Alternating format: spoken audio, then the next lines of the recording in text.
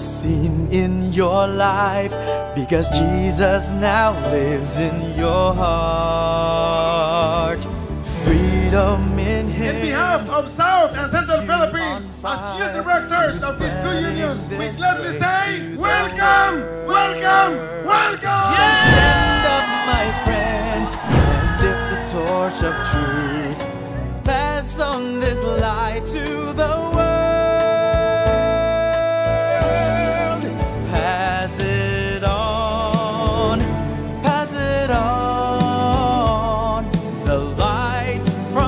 Jesus, pass it on.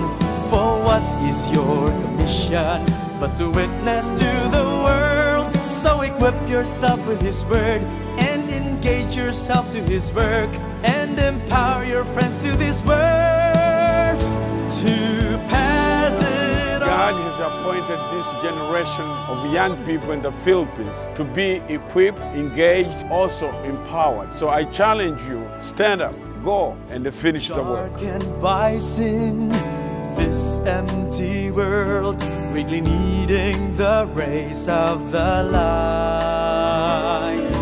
Blended together for this great cause, will enlighten this world all our might. So stand up, my friend, let's ablaze the entire world. Pass on the with His word. Pass it on, pass it on. The light from Jesus, pass it on. For what is your commission but to witness to the world? So equip yourself with His word and engage yourself to His work and empower your friends to this word to pass it on.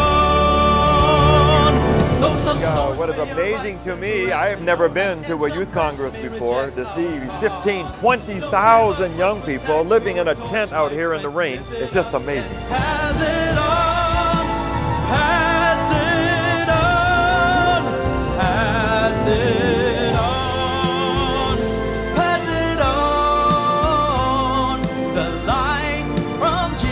pass it on. For what is your commission but to witness to